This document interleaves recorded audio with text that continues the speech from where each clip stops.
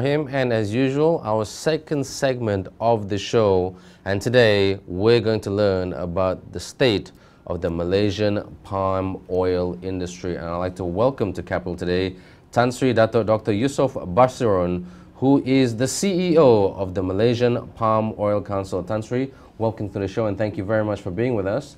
Now first question Tan Sri, tell us about the current state of the Malaysian palm oil industry. Uh, palm oil industry is uh, booming uh, in the sense that uh, palm oil is a very popular uh, edible oil consumed all over the world. And producers are trying their best to produce this oil to meet consumers uh, expectations both in terms of quantity, quality, environmental attributes. And therefore we are entering in a very exciting time uh, also with this uh, industry projecting to uh, have uh, a recovery in the prices of palm oil. And all this means that people are looking forward to how the palm oil industry can contribute more to their income, to their prosperity, and to fulfilling the needs of the world. That's right. For uh, edible oil and food security. Now, the Malaysian palm oil, palm oil business in Malaysia is doing very well. It seems as a good resource that many people look towards and a resource that we, at many countries, are looking to we Malaysians as a benchmark and yardstick. In terms of success, success stories, key learnings, things that we're doing well, what are we doing well at the moment in this industry?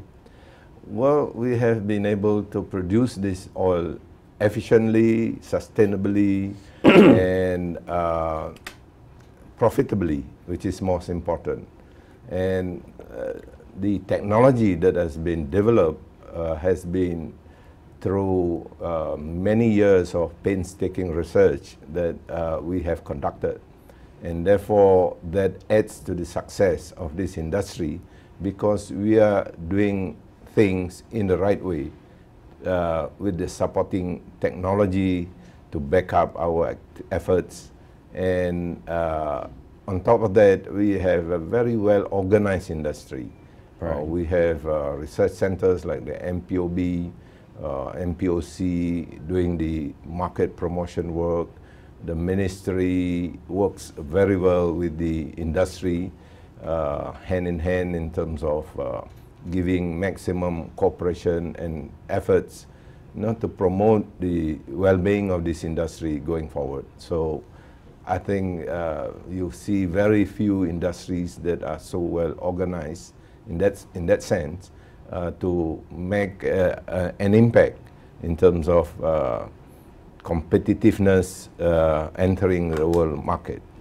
Now let's talk about that word promotion, Tan Sri, because you yeah. stressed that word promote and promotion in your latest answer. Now, many people think when they think about palm oil or palm oil in Malaysia, it is seen as a product to drive the economy, to drive business. But from the consumer angle, not many people yeah. think benefits for the health, benefit for the consumer. Can you tell us a little bit about benefits of health for the consumer from palm oil? Palm oil is a very uh, functional oil, middle of the road oil uh, for the mass consumption uh, because it is produced in such huge quantities, dominating the world supply and, and therefore consumption. So people are worried uh, sometimes uh, because of uh, bad publicity or insufficient information getting through. So they question uh, how healthy is palm oil as, thing, a, yeah. as, a, as a dietary oil. Mm -hmm. So the way to answer this was for the Malaysian palm oil industry to conduct nutritional research all over the world in the major consuming countries. And the end results of all these research efforts was an endorsement by the U.S. Food and Drug uh, Authority, FDA, uh, which accepts that, uh, or at least agreed that uh, palm oil uh, blended with the local oils, 50-50, mm -hmm. helps to improve cholesterol ratio Ah, so yes. that uh, which is a problem here in Asia, cholesterol. Yes, with cholesterol habits and whatnot. Yeah. Yeah, it was uh, originally associated with uh, tropical oil could have uh, could increase cholesterol that could be bad, but with this research, once and for all, this uh, problem is, is resolved.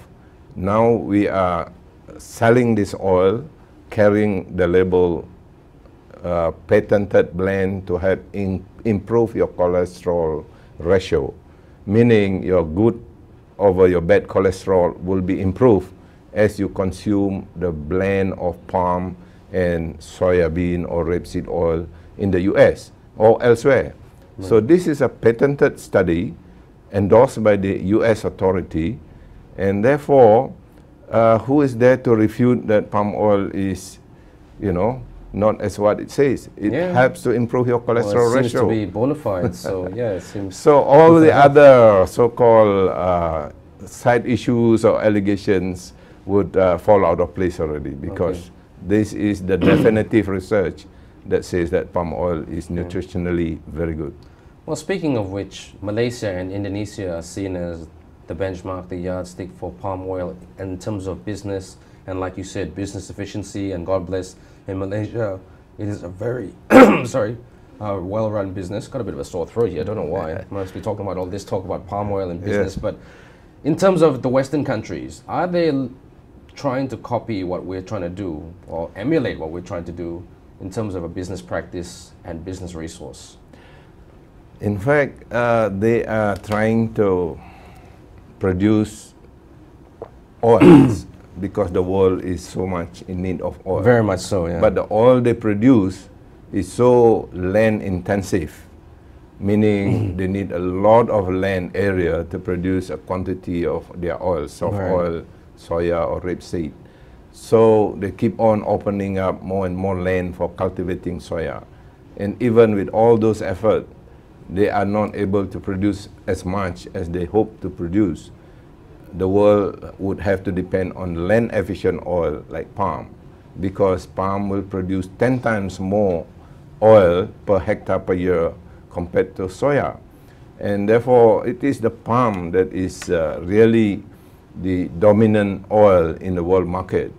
And unfortunately, the Western countries cannot plant oil palm. No, they can't. No, they can't. this is a tropical crop. Yeah. And uh, only selected countries, because of having good rainfall pattern and the weather patterns and whatnot. Yeah, throughout the year, that can plant oil palm, and but that I'm happens sure, to be Malaysia and Indonesia. But I'm sure some countries, some of the more, well, Western developed countries who have been around longer in terms of business, I'm sure they're looking at this resource to trying to, oh, okay, they may not have that resource in their country, yeah. but they can control it from their country, for example. I mean, well, is that a way, I mean, we've seen this in many other businesses. Is that a way forward for them? This is the best option for them, depending on other resources or oil sources would not be tenable, would not be sustainable.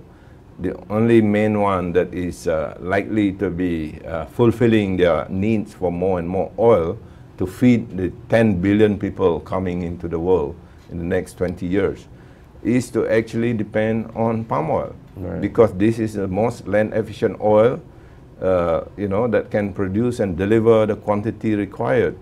And so if you look at uh, big populous countries like China, uh, India, Russia, Pakistan, Egypt, they all buy a lot of uh, palm oil in terms of uh, even percentage wise, mm-hmm. palm oil is dominant. And if you look at the developed countries, Japan, EU, uh, US, they also buy a lot of palm they oil. Do, in fact, this is their largest import uh, mm-hmm. item for oils and fats. Right. So, what is there to show? It is just that palm oil is the most practical, desired oil to do business with on, and uh, and people therefore uh, focus more and more on how to get this oil uh, delivered to them as efficiently as possible, uh, competitive, uh, environmentally friendly, and all that would be put in right. as uh, a way to ensure sustainability, ensure uh, efficient uh, processing and production so that uh, the world will be looking for competitive source and we are there to produce a competitive oil that can meet the world standards and demand. Now speaking about competition and in terms of international markets and whatnot, Tan Sri, on the domestic front, how reliant are we, we Malaysians, yeah. on the palm oil industry for monetization and revenue streams? Now, certain industries do really help the government in terms of funds and revenue, oil and gas industry, for example, but roughly speaking, just ballpark figure percentage, agak-agak as we say in Malaysia, yeah, yeah, roughly how many percent are we reliant on the palm oil industry for our well, economy? We are, we are a big, uh, great exporting country. Mm -hmm. We export a lot of uh, products and commodities.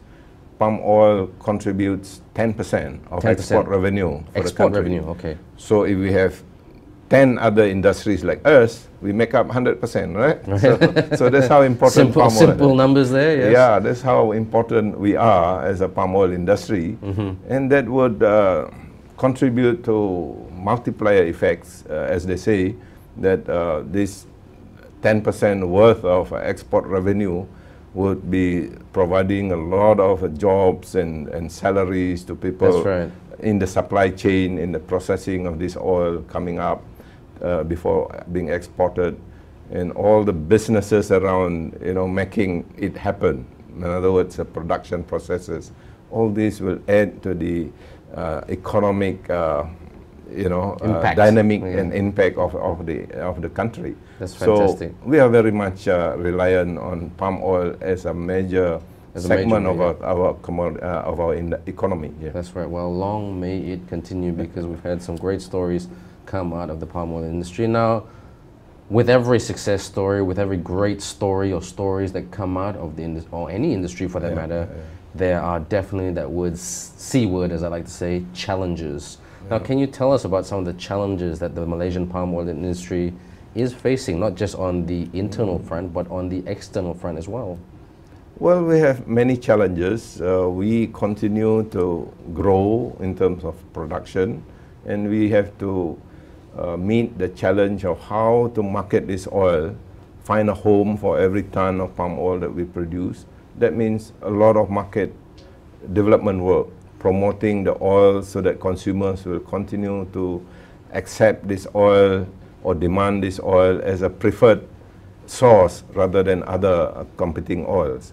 So these challenges can uh, be in different form. We need to, you know, uh, handle allegations uh, put up by competing mm -hmm, mm -hmm. oils, especially uh, those that cannot compete, they would uh, probably employ NGOs to spread negative uh, campaigns against or lobby a certain lobby regulation, yeah? regulations, things mm -hmm. like that.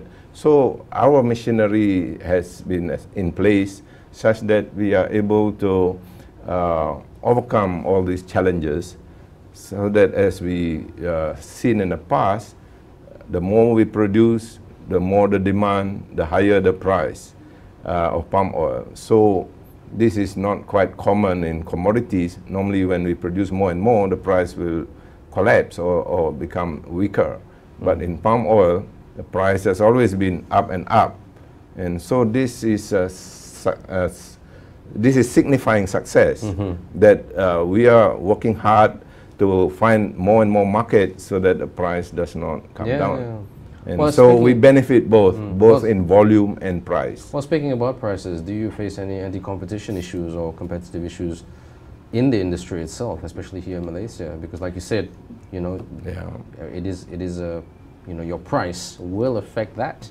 that well, matter. we we have been uh, in the business for many years. We have very strong uh, infrastructure for establishing price like the Bursa Malaysian uh, Bursa Malaysia uh, system of uh, futures trading for palm oil.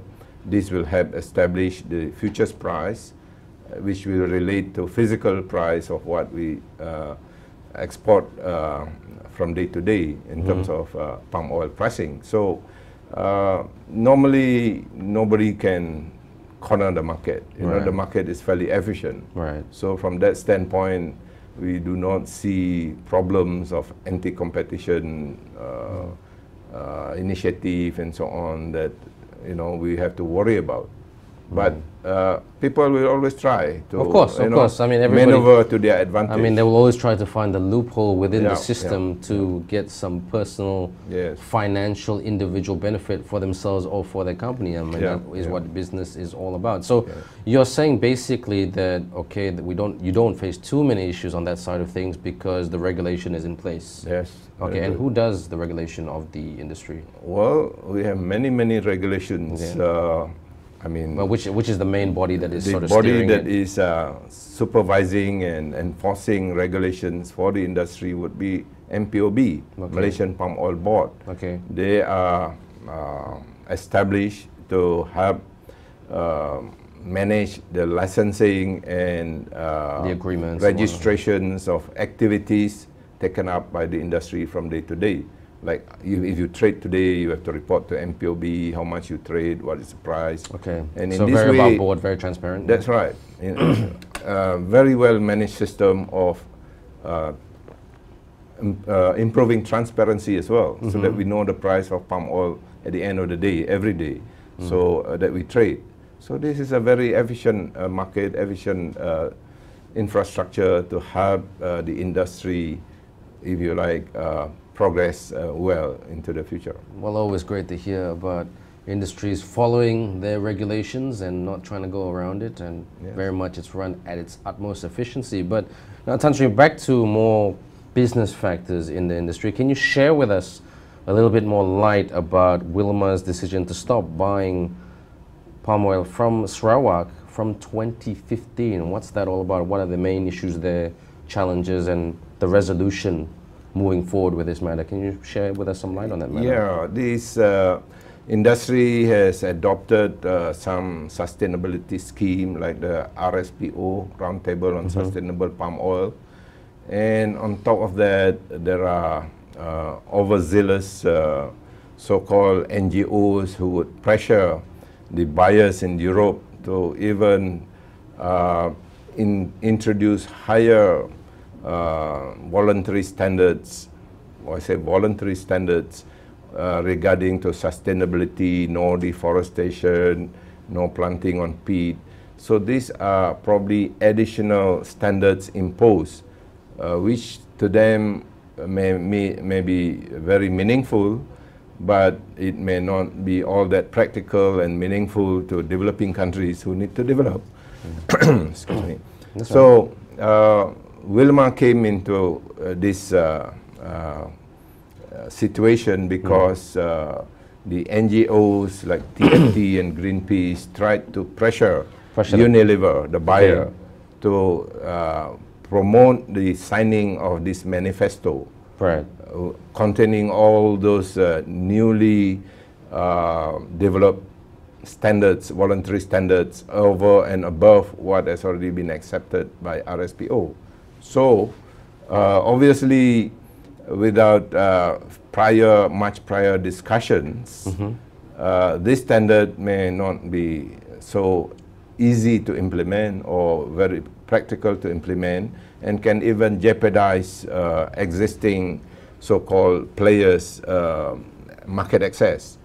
And so reading in detail the manifesto that has been signed by uh, Wilmar, uh, this attracted the concerns of the, The companies. uh, companies in Sarawak, for example, Right. because they plant a lot of their oil palm on peat because that is their land asset. Right. A lot of their lowland is peat, and they Mm-hmm. can only plant in peat. They cannot plant oil palm on the hilltops. Right. So, um, and uh, in Europe, peat has been planted. You know, 10% of uh, world peat area is an, on agriculture. Right. Sorry to interrupt you, Tan Sri, but so for Wilmar's case, is that a done deal? They will stop 20 from 2015 because of the pressures that they're getting from the NGOs. the- is it a done deal? Nothing is permanent in this world. Yeah, that's right. But I mean, from the media You know, statements and what yeah. they're coming out, look, 2015 done deal. We are stopping. You know. Yeah. I mean, in your opinion, is that the end of it? Mm-hmm. it's voluntary. If they choose to implement something on their own, Mm-hmm. then they just have to uh, find other sources of supply Mm-hmm. to meet their consumers' expectations. Right. But for the producers, they too, uh, they don't all sell to Wilmar. No. Uh, Wilmar is not the only market in the world. No, it's not. So uh, if they make a, a stipulation that they don't want to buy, uh, that is like you and I, you know, uh, freedom of, uh, of the market. Yeah, you freedom don't of want to buy. Yeah, freedom of choice as well. But I mean, that being said, you know, Wilmar is a huge customer of this raw market, and they've been there for a long but, time. but many huge customers, uh, they can, you know, reduce their business if they make mistakes. Okay, okay. If they want to be to play a different game, you know, uh, banks have gone. You Yeah. see, because Well- they, they made uh, the wrong, you know, Mm-hmm. uh, going against uh, the the tide. Uh, what I'm saying is, any deal or any arrangements uh, scheme must be fair. Right. If you are not fair uh, to the to both sides, producers and, and consumers, then uh, you can't survive. True. We'll just have to take a very short break there, Tansri, because a very interesting issue on the state of the Malaysian palm oil industry, its success stories and its challenges. And don't forget, that's what business is all about. We're just going to take a very short commercial break right here on Capital Today. But when we come back, more news and headlines making the news and business news and headlines this morning. And then later on, when we come back, we're going to continue this very interesting topic with Tansri about the Malaysian palm oil industry. Don't go away. Stick with us right here on Capital Today.